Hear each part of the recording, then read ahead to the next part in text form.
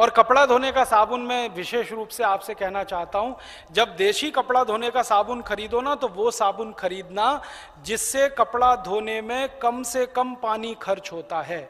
क्योंकि पानी की एक एक बूंद कीमती है, आपको मालूम है। अभी हम डिटर्जेंट पाउडर ले आते हैं, वॉशिंग पाउडर ले आते हैं।